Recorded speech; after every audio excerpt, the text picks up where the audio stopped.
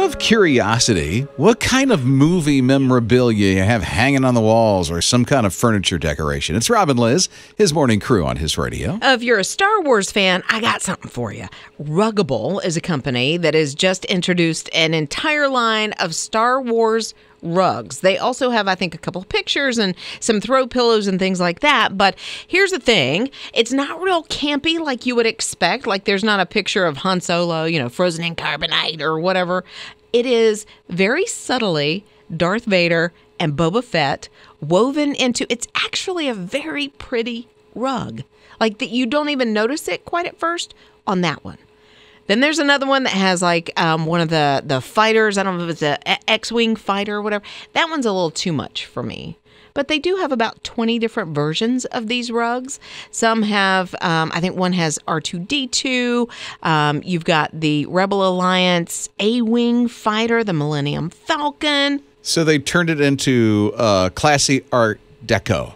Classy Kind of Art rug, Deco. I would right? go with that. They even have um, a Darth Vader portrait of sorts, which I don't think I would put that on my wall. But the Darth Vader rug, I I kind of like it. What do you? What would you call the design? Like paisley kind of stuff? Uh, filigree is probably where Is I that would. what you call that? I, I, that's the closest thing because I'm not an interior designer. That's the closest thing that I can equate that rug to. And then there is a, a more of an Art Deco, like you say, rug that is one of the fighters that I still I can't really pick it up in this rug. So to me, it's just a, it's more the colors of the fighter. Okay, Yeah, so it's not bad. I would I think I would do really? the Darth Vader Boba Fett rug What- because you can't tell. what blatantly do you have in your house that's something that's movie related? I have the uh, Baby Yoda stuffed animal. Oh, about something on your wall? I had a Broadway, and my friend Anne is going to find this out this morning, but my son Luke actually ended up breaking it accidentally. Uh oh. He was playing around he ran into it. But she had, for a couple years ago, bought me um, uh, almost a shadow box of Broadway. Oh, that was the thing that you said was four hundred bucks. Yeah, uh, no. I don't. She bought it for my birthday. I have no idea. But yeah, he ran into it. So that would be the only thing that I can think that's on my wall from a movie or whatever. Okay. What about you? Uh, well, let me check in with Ian, and TJ. Okay. What about you guys?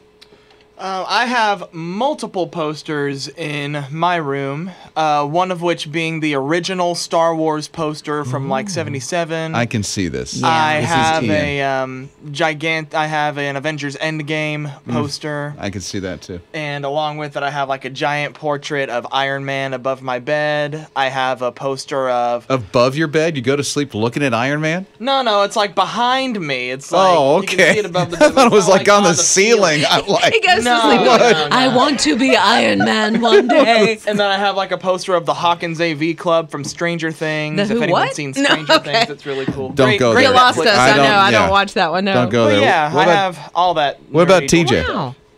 anything, TJ? My walls are blank. Okay. Blank. Lame. Blank. I got a blank I love that. And then you? I have one thing. Yeah. And and it's from the actors of I Can Only Imagine the movie. Because you were in that. Oh, you heard? Weren't yeah, you? that's the only reason why I have it on there because they kind of. It's a ma- it's not like a poster poster. It's a matted thing. Sure. They signed it and gave it to me because I was in that movie with them. That is pretty Yeah. awesome on two, on many different levels, but that that's pretty cool. I would have that in my house too. Yeah, well, I have it in my studio, so that's where I have it. Huh. So, what do you have in your home that is like that? Like it's just I hate calling it an obsession, but something that you just love that you've brought into the home as part of the decor. Yeah, 800 447 7234. It's his morning crew.